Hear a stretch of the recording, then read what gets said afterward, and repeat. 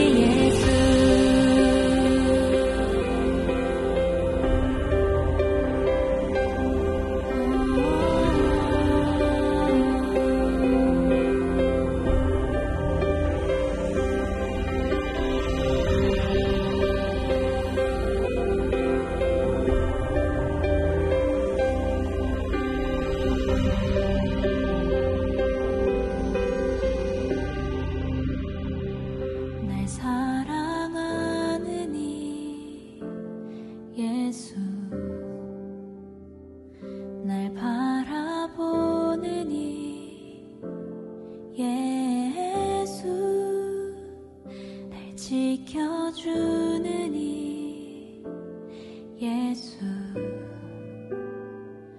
날 용서하는 이 예수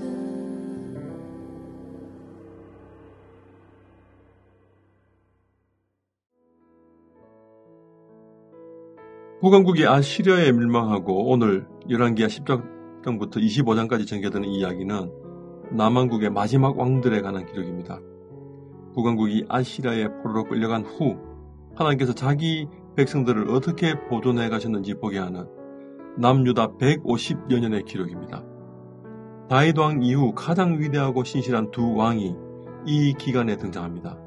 먼저 오늘 18장부터 히스기야가 남왕국 13번째 왕으로 등장합니다.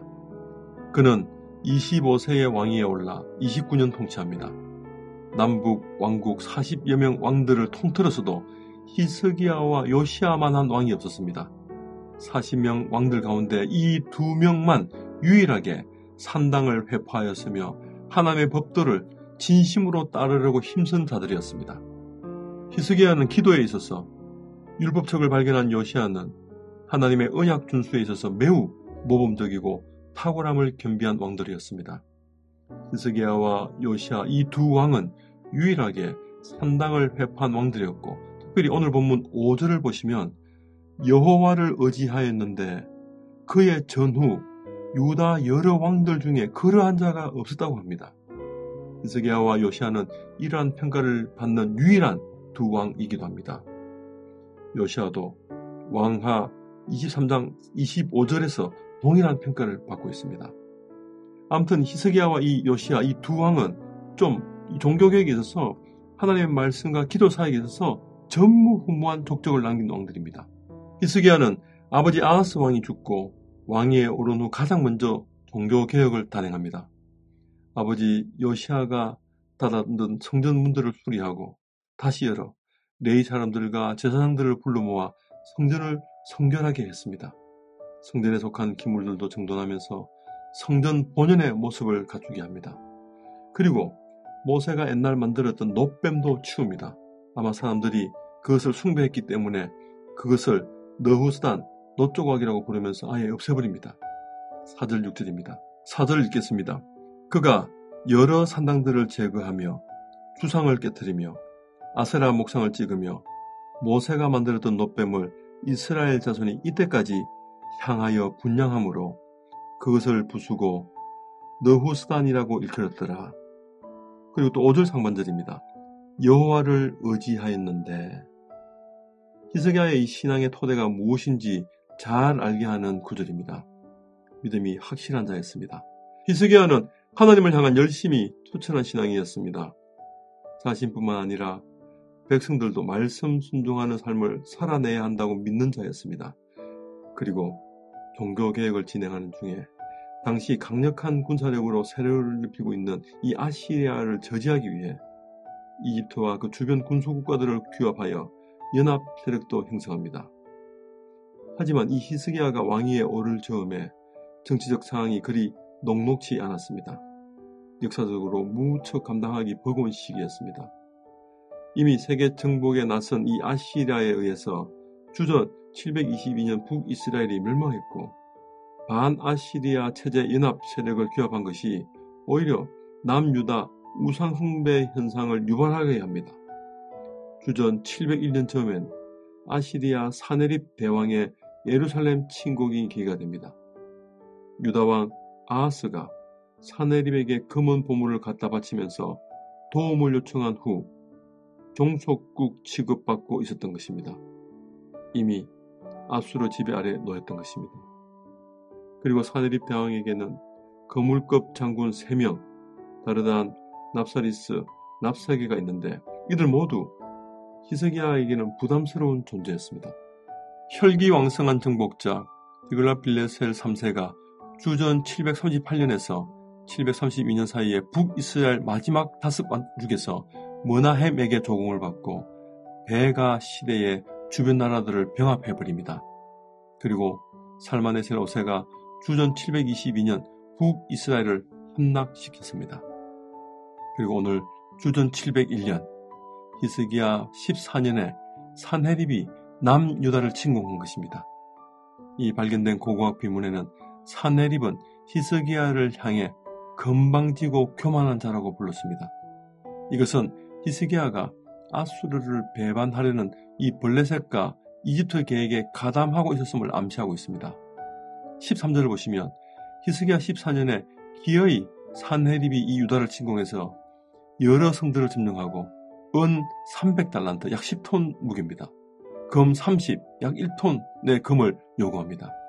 그래서 이 스기야는 왕궁의 비축에 두었던 은과 또 성전에 입혔던 금까지 벗겨서 일시적으로 그 상황을 모면합니다. 그러나 결국 아수르는 대군을 보내어 유다를 치게 됩니다. 그 이야기가 오늘 13절에서 내일 보면 17절까지 이어집니다. 기본적으로 북이스라엘을 공격한 이 아시리아는 대규모 병력에 의존하는 잔인한 전쟁 방식으로 전장을 운영합니다. 공병대가 운영하는 이 세계 최초의 기계식 성벽 파괴 무기로 무장한 이 군대는 전술 전략을 잘 구사하는 탁월한 군대였습니다. 그리고 고도의 심리전에 능하여 상대국 병사들을 간담스널하게 하는 잔혹한 방식을 전장에 운영했습니다. 예를 들면 장대에 매단 시체들, 무더기로 머리 잘라 나갔던 그 머리들, 또 살갓 벗겨진 채 데리고 다니면서 무자비하게 다루는 그런 일들을 통해서 공포심을 조장하곤 했습니다. 이런 아수르가 북이스라엘을 멸망케 했고 남유다를 지금 넘보고 있는 것입니다. 현실은 매우 엄정했습니다.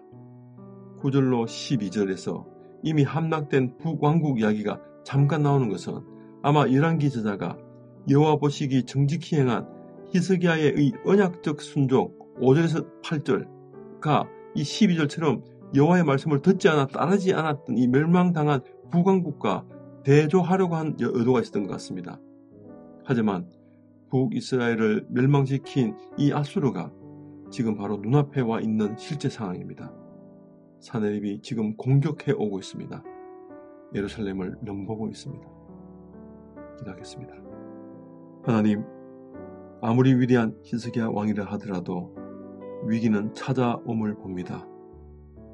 국왕국의 멸망과 아수르 군대의 그 잔인함에 익히 아는 터라 더 두렵고 마음 조이는 오늘이었을 겁니다. 오늘 원건각체에서 함께하는 성도들 가운데 특별히 바깥에서부터 조여오는 두려움이 있거든 또 이런 위기 상황에 놓여 계신 분이 있다면 주님 위로하여 주시고 말씀과 공동체로 전해질 용기를 얻을 수 있는 복된 시간 되기를 기대합니다. 히스기야처럼 하나님 앞에서 정직히 행하며 하나님을 의지하는데 그 누구도 당해낼 자 없는 저희들 되게 도와주시옵소서 감사드리며 예수님의 이름으로 기도합니다.